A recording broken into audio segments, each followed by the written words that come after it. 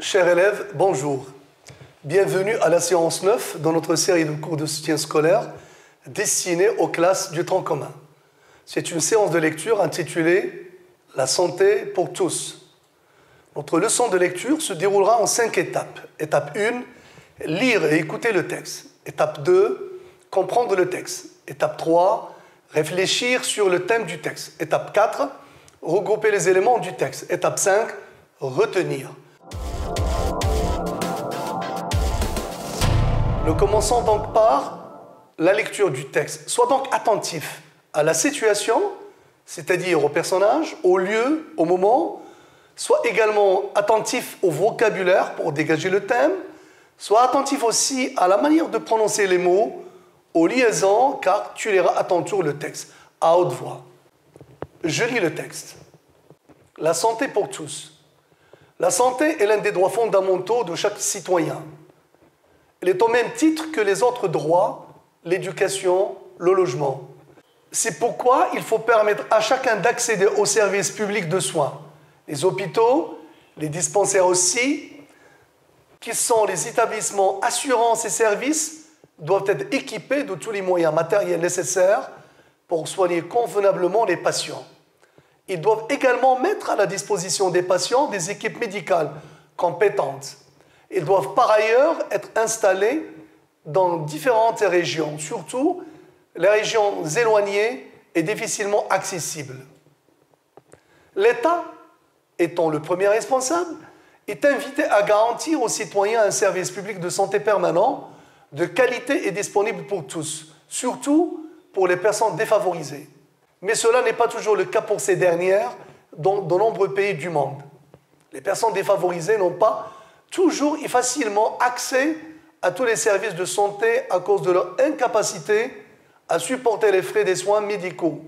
Face à cette réalité, il existe des ONG, nationales ou internationales, composées essentiellement de médecins généralistes, de médecins spécialisés et d'infirmiers, ainsi que d'autres personnes qui mettent en place des actions de bénévolat dans ce cadre chaque pays est obligé de, d'une part, de favoriser la création de ces ONG, d'autre part, de faciliter la mise en application de ces programmes d'action en faveur de la santé des populations démunies. Maintenant, c'est à toi de lire le texte.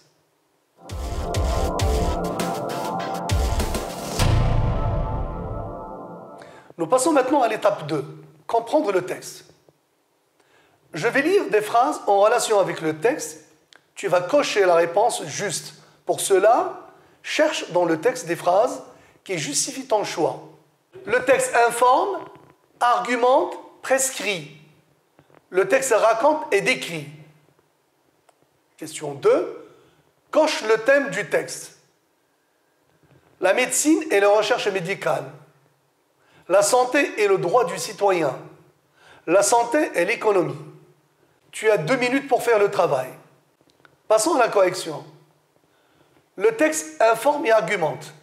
Je cite, La santé est l'un des droits fondamentaux de chaque citoyen. C'est une information. Deuxième citation.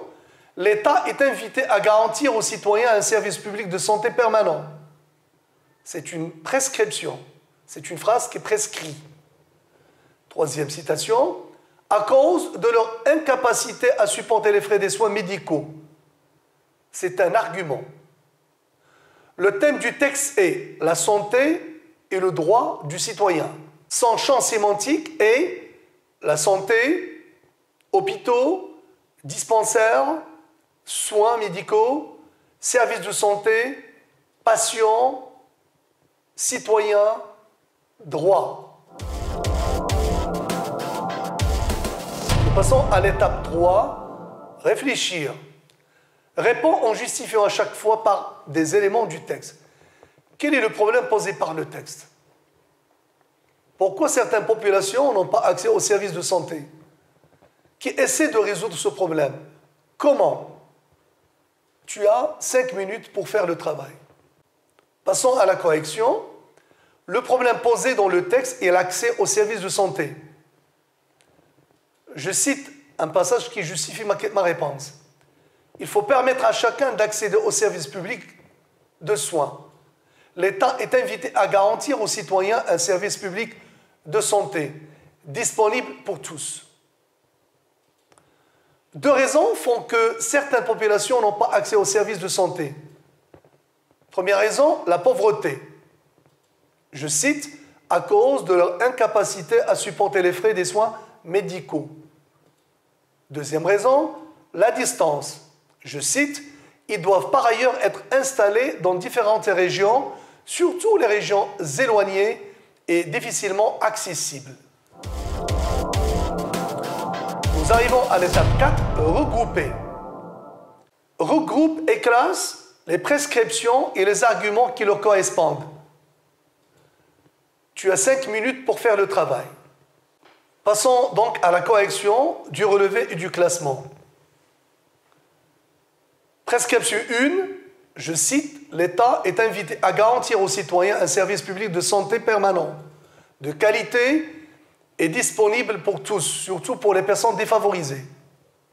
Argument, les personnes défavorisées n'ont pas toujours et facilement accès à tous les services de santé. Deuxième prescription, je cite, chaque pays est obligé de, d'une part, de favoriser la création de ces ONG, d'autre part, de faciliter la mise en application de ces programmes d'action en faveur de la santé des populations démunies.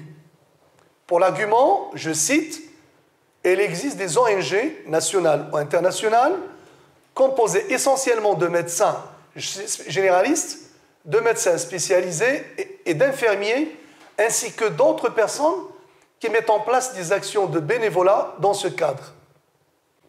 Question numéro 2. Relève les expressions de la prescription. Tu as une minute pour faire le travail. On vérifie ton relevé. Il y a il faut plus infinitif. Ensuite, est obligé de plus infinitif enfin, est invité à plus infinitif. Nous arrivons à la dernière étape, cinquième, l'étape retenir. Il s'agit d'un texte d'idées qui expose un thème, le droit à la santé. C'est un texte qui investit différents discours, informatifs pour exposer, argumentatifs pour justifier et prescriptifs pour recommander. Le texte présente le thème de la santé en tant que droit dont tous les citoyens doivent bénéficier. Pour cela, il recommande de faciliter l'accès à ce service. Ce cours prend fin. Merci.